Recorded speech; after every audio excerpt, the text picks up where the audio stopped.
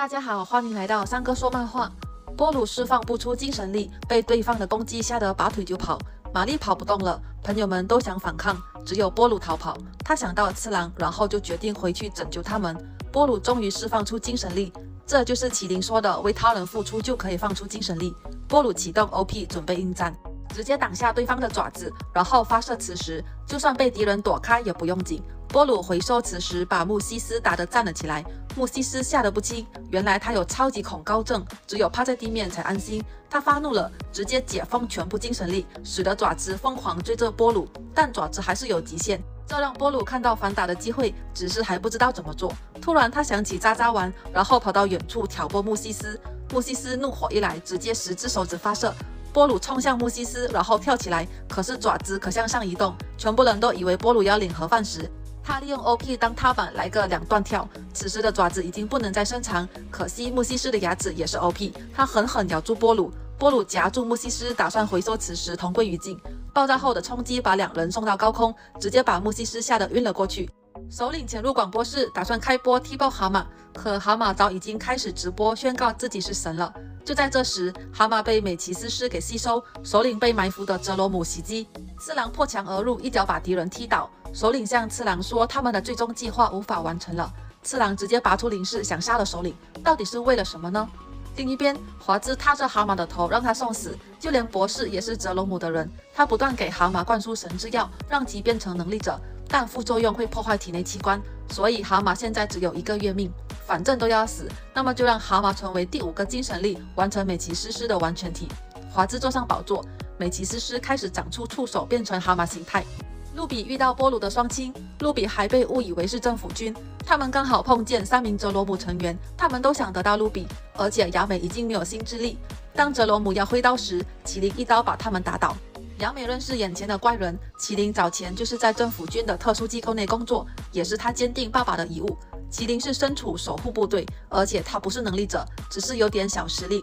来到华兹这边，他们刚刚的录像机还开着，让次郎得知他在怪物上。首领劝他不要去送死。次郎说他认识的朋友说过，哭泣和逃避一切都不会改变。为了拯救露比，他也只好一战。看着坚定的次郎，首领也决定大干一场。华兹对着次郎测试下神之力，直接把城市打得稀巴烂。次郎眼看无法接近，而且被激光击中，一瞬间就会融化。次郎突然想到什么好点子。次郎让波鲁通知首领实行他们的最终计划。首领透过广播揭穿了蛤蟆勾结哲罗姆的录音。一番激动人心的演讲后，首领让大家抬头战斗吧，命令反政府军执行最终计划。华兹这边也玩够了。当他想干掉次郎时，身边布满水蒸气，这就是首领破坏了动力源头导致的。华兹不理那么多屁话，直接攻击。镭射击中后，次郎却完好无伤。原来是水蒸气削弱了镭射的威力。此时的次郎已经靠近美琪斯师，他丢出灵矢想砍下大脚，美琪斯师利用防护罩轻松挡下。接下来要怎么办呢？露比由于担心次郎而冲入美琪斯师范围，雅美命令麒麟一定要好好保护露比。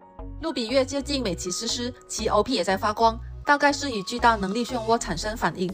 次郎看到露比，却对他破口大骂，叫他离开这危险的地方。当然，露比是想帮忙才来的。华兹继续炫耀的说是负能量让美奇斯师进化而制造的防护罩。麒麟说：“那么就用正能量才可以击破了。”此时人们情绪高昂地站起来反抗，露比的项链就越来越亮。